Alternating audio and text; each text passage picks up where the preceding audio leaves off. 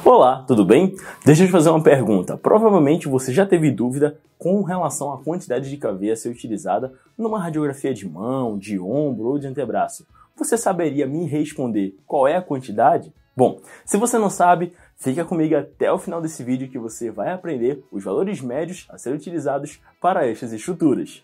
Seja bem-vindo ao canal Radiologando. Aqui você aprende sobre radiologia e muito mais. Se você está chegando aqui agora, é novo e ainda não é inscrito, já se inscreve e ativa todas as notificações para não perder nenhum vídeo e ficar por dentro de todo o conteúdo. Nos siga também nas nossas redes sociais, tanto na arroba Radiologando, como também no arroba Prof. Pois lá você pode participar de lives, participar de enquetes e ainda pode interagir de pertinho conosco. Então, sem mais delongas, vamos para o vídeo?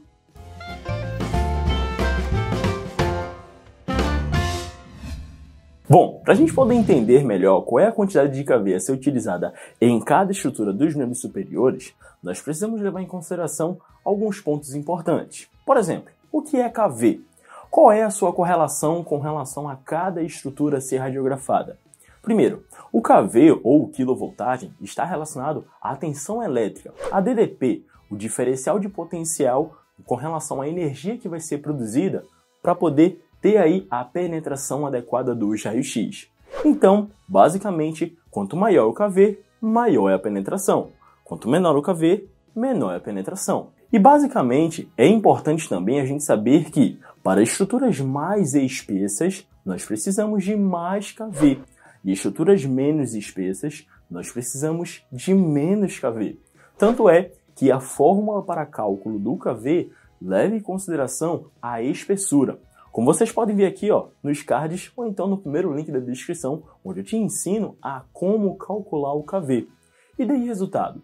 Na região dos membros superiores, existem estruturas com espessuras diferentes, como por exemplo, a região do punho ou região do carpo tem uma espessura diferente com relação à região do cotovelo. Logo, eu vou utilizar mais radiação para a região do cotovelo e menos radiação para a região do punho. Outro fator também bastante importante é a correta aplicação do efeito anódico.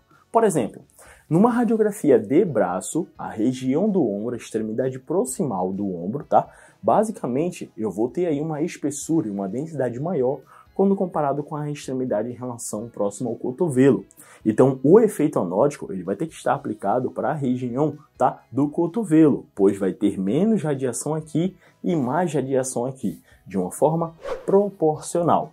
Dito sobre isso, agora a gente vai entender o porquê cada KV é aplicado aí com relação a essas estruturas. E começaremos pela mão. Para você realizar uma radiografia de uma mão de um adulto com as incidências PA e PA oblíqua, Geralmente você pode utilizar entre 50 e 55 de kV. Isso é o suficiente para você produzir uma imagem com uma boa qualidade e um bom contraste.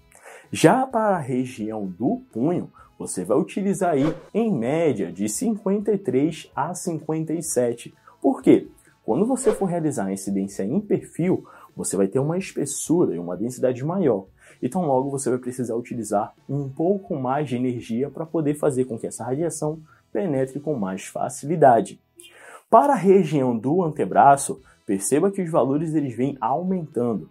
Você vai poder utilizar aí de 57 a 63 de kV para você poder realizar as incidências de AP e perfil. E os mesmos valores servem também para realizarmos a radiografia do cotovelo entre 57 e 63 de kV já é o suficiente necessário para você realizar uma radiografia com uma boa qualidade.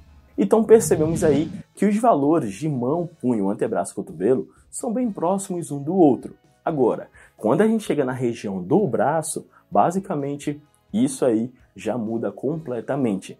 Basicamente, precisaremos aí aumentar a nossa quantidade de KV poderão ser utilizados aí de 75 a 80, 85, dependendo do paciente, até mesmo com relação à distância foco-filme que você vai aplicar. Então, de 75 a 80, 85, você vai utilizar aí para poder realizar uma radiografia do braço, tá? Levando em consideração que esses valores também podem ser úteis para uma radiografia de ombro, clavícula e também escápula. E todos esses exames com relação a ombro, clavícula, escápula e braço são realizados dentro de book. Por isso que a gente aumenta a energia. Já com relação ao cotovelo, antebraço, punho e mão, a gente não realiza dentro do book. Por isso, não tem a necessidade de a gente aumentar a nossa quantidade de KV ou até mesmo de MAS, pois possui diferença quando a gente vai realizar um exame dentro e um exame fora do book. E aí, você anotou todos os valores? Bom, eu espero que sim. Mas caso você tenha alguma dúvida, alguma pergunta, alguma curiosidade, ou onde você trabalhou, onde você trabalha, onde você estagiou ou aonde você estagia, se os valores são diferentes, deixa aqui para mim nos comentários que eu quero saber aí qual é a quantidade de KV que você utiliza nos seus procedimentos. Bom, eu vou ficando por aqui, enquanto que você então no próximo vídeo, na próxima live ou quem sabe na próxima postagem. Não esqueça de curtir o vídeo, compartilhar com seus colegas e também nos seguir nas nossas redes sociais. Bom, muito obrigado pela sua atenção e até a próxima. Valeu!